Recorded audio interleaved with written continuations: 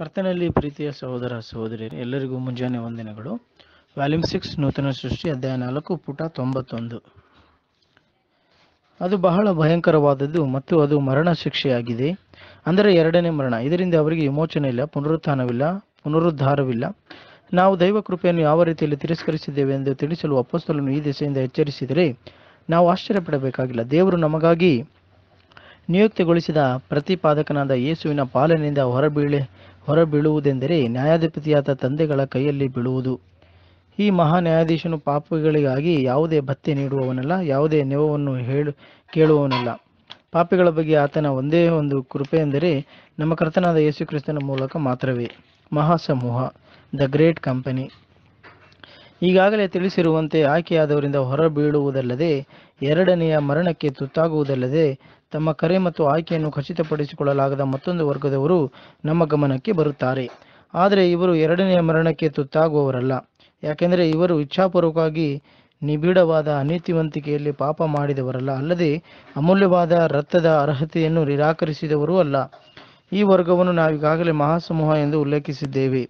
ಇವರುಗಳು ಮಹಾ ಸಂಕಟದಿಂದ ಹೊರಬಿದ್ದು ತಮ್ಮ ಉಡುಪುಗಳನ್ನು ಯಜ್ಞ, ಯಜ್ಞದ ಕುರಿಯ ರಥದಲ್ಲಿ ತೊಳೆದುಕೊಂಡು ಅದನ್ನು ಪ್ರಕಾಶಗೊಳಿಸಿದ್ದಾರೆ. ಆದರೆ ಆತ್ಮಿಕ ಸ್ವಭಾವ, ಮಹಾ ಆಶೀರ್ವಾದ ಮತ್ತು ಕುರಿಮರಿಯ ವಿವಾಹದ ರಾತ್ರಿಯ ಭೋಜನಗಳಲ್ಲಿ ಅತಿಥಿಗಳಾಗಿ ಭಾಗವಹಿಸುವ ಇವರು ಕ್ರಿಸ್ತನ ಹೆಜ್ಜೆಜಾಡಿನಲ್ಲಿ ನಡೆದು ಅದರಲ್ಲೇ ಹೃತ್ಪೂರ್ವಕವಾಗಿ ಸಂತೋಷಿಸುತ್ತಾ ಪ್ರಾಮಾಣಿಕವಾಗಿದ್ದು, ಜಯಶೀಲರಾದ ಹಾಗೂ ಖಚಿತವಾಗಿ ಆಯ್ಕೆಯಾದವರಿಗೆ ಮಾತ್ರ ದೊರೆಯುವ ಮಹಾ ಜಯಮಾಲೆಯನ್ನು ಪಡೆಕೊಳ್ಳಲಾಗದೆ ಹೋಗಿದ್ದಾರೆ.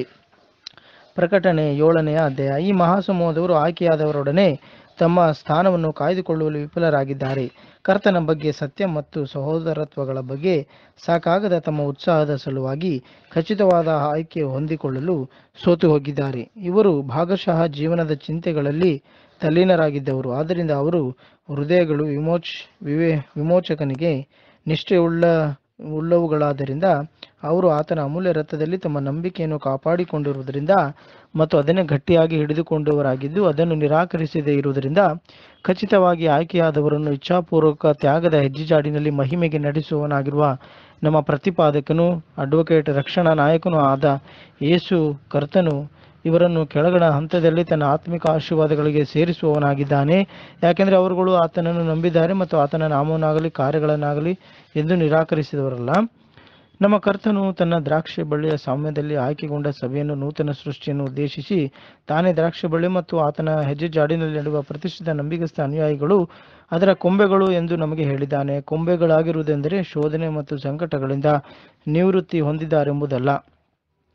ಎಂದು ಸಹ ಆತನು ದೃಢಪಡಿಸುತ್ತಾನೆ. ಆದರೆ ಇದಕ್ಕೆ ವ್ಯತಿರಿಕ್ತವಾಗಿ ಮಹಾ ಒಕ್ಕಲಿಗನಾದ ತಂದೆಯು ನಮಗೆ ವಿಶ್ವಾಸದ ತಾಳ್ಮೆಯ ಮತ್ತು ಭಕ್ತಿಯ ಪರೀಕ್ಷೆಗಳಾಗಬೇಕೆಂದು ಬಯಸುತ್ತಾನೆ. ಇವುಗಳನ್ನು ಶುದ್ಧೀಕರಿಸುವಾಗ ಲೋಕದ ಸಂಗತಿಗಳ ಮೇಲಿನ ನಮ್ಮ ಇಚ್ಛೆ, ನಿರೀಕ್ಷೆ ಮತ್ತು ಆಕಾಂಕ್ಷೆಗಳ ಮೇಲೆ ಕಡಿಮೆ ಒಲವುಂಟಾಗುತ್ತದೆ ಇವುಗಳು ವಿಫಲವಾದ ಆತ್ಮಿಕ ಫಲಗಳಿಗೆ ಸೌಮ್ಯ, ಸೌಮ್ಯತೆಗೆ, ತಾಳ್ಮೆಗೆ, ದೀರ್ಘಕಾಲೀನ ಶ್ರಮೆಗೆ ಸಹೋದರ ಕರುಣೆಗೆ ಪ್ರೀತಿಗೆ ಎಡೆ ಮಾಡಿಕೊಡುತ್ತದೆ.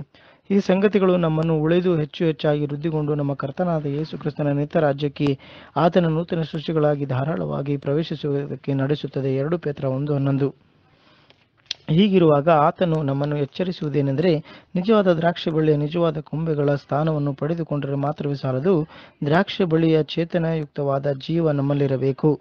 ದ್ರಾಕ್ಷಿಯ ಫಲಗಳನ್ನು ಭರಿಸುವ ಮನೋವೃತ್ತಿ ನಮ್ಮ ಹೃದಯಗಳಲ್ಲಿರಬೇಕು. ಆಗ ಒಕ್ಕಲಿಗನು ನಮ್ಮ ಕರ್ತನು ಕೊಂಬೆಗಳಾಗಿ ಉಚಿತ ಕಾಲಾನುಕಾಲ ನೆಲೆಗೊಳ್ಳಲು ಅನುಮತಿ ನೀಡುತ್ತಾನೆ ಮತ್ತು ಯೋಗ್ಯರೆಂದು ಖಂಡಿಸುವ ಮುನ್ನವೇ ನಾವು ಸರಿಯಾದ ಪ್ರತಿಫಲ ನೀಡುವ ಅಥವಾ ನೀಡದಿರುವ ಕುರುಹುಗಳೇನಾದರೂ ಉಂಟೋ ಎಂದು ಪರೀಕ್ಷಿಸುತ್ತಾನೆ. ಆತನು ನೂತನ ಕೊಂಬೆಯ ಮೇಲೆ ಹಣ್ಣಾದ ಗೊಂಚಲನ್ನಾಗಲಿ ಅಥವಾ ಹಸಿರು ದ್ರಾಕ್ಷಿಯನ್ನಾಗಲಿ ಬಯಸುವುದಿಲ್ಲ. ಮೊದಲಿಗೆ ಆತನ ಹಣ್ಣಿನ ಒಂದು ಸಣ್ಣ ಮೊಳೆಯ ಲಕ್ಷಣವು ಮಾತ್ರವೇ ಕಾಣಬಯಸುತ್ತಾನೆ. ನಂತರ ಇದು ದ್ರಾಕ್ಷಿಯ ಹೂವಾಗಿ ವಿಕಸಿತಗೊಳ್ಳುವಂತೆ ಮತ್ತು ನಂತರ ಇದು ಮಧುರವಾದ ಹಣ್ಣಾಗುವಂತೆ ಅಪೇಕ್ಷಿಸುತ್ತಾನೆ. ದೇವರು ಈ ವಾಕ್ಯವನ್ನು